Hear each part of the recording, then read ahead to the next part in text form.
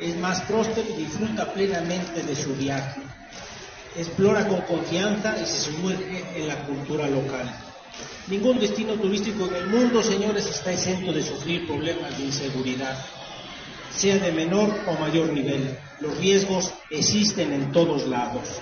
La seguridad no, se logra de un momento a otro. Llevamos muchos años trabajando en la Secretaría de Seguridad Pública junto con la eh, gente del turismo poblano para dar esa seguridad a nuestros turistas.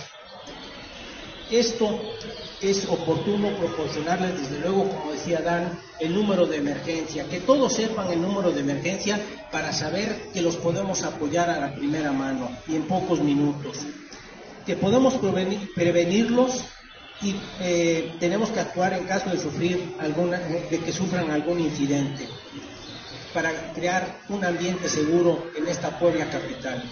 Este conocimiento debe llegar no solo a la, Secretaría de Seguridad Pública, no solo a los que trabajamos en turismo.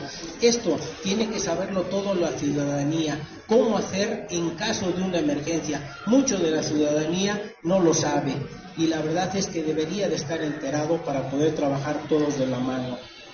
Como mencioné, la seguridad no se logra con el trabajo de uno solamente, sino que es un trabajo colaborativo que le compete a todos los actores de la sociedad. Y en esta ciudad de Puebla creo que todos estamos trabajando un poquito para que esto sea un hecho.